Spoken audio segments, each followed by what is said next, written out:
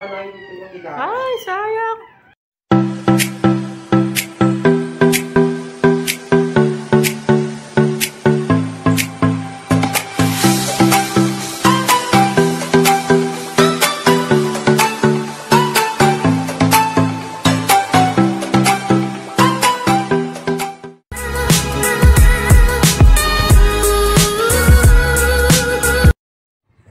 Hi guys! Welcome back to my channel, Jackmel Javier PH po. Ah, update ko lang po kayo tungkol sa aso kong chitso na nanganak po via cesarean. Papakita ko rin po sa inyo yung mga puppies niya na 2 weeks old na po. Ito po. Ito na po sila, mga malulusog po at masisigla. 2 weeks old na po sila. Sila po ay pinanganak via cesarean po. Bali, tatlong lalaki, isa pong babae. Sobrang lulusog po at tatakaw magdede. Ipapakilala ko lang po sa inyo guys, yung mga anak ni Trixie na aso ko. Apat po sila, bali, isang babae, tatlong lalaki. Ito po yung isa. Siya po ay si Primo. Siya po ay lalaki. Halata na. O, ayan po. Ayan po siya. Ito naman po si Kaden. Lalaki po siya. Ayan po. Ay. Mulat na rin po yung mga mata nila pero hindi po siya hindi po sila lahat. Ito naman po si Draco, ang pinakamalaki sa kanila. Lalaki po siya. Pinakamatakaw rin sa kanya. Sa kanila, ayan po.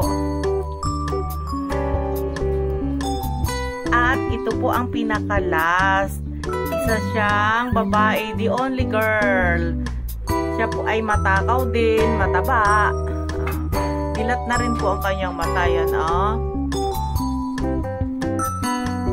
Bali po nag 2 weeks na po sila and then bukas po deworm na nila. First deworm pa lang po. So uh, update ko kayo ulit sa mga bagong pangyayari sa mga balbons. Okay? Thank you guys. Thank you for watching. Bye!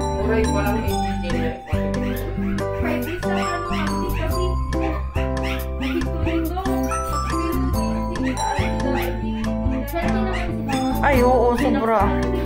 Kaso parang pumayat yung iba ngayon kasi nga yung sa gatas.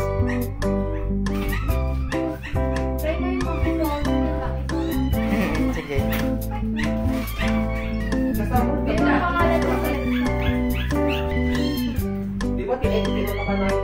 Ay, sayang. Liver is parang liver. Liver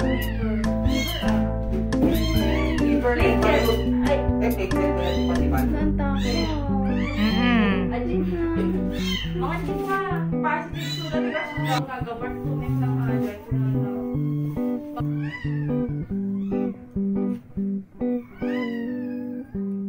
Yan, matakaw din yan. Sobra. Mm-hmm.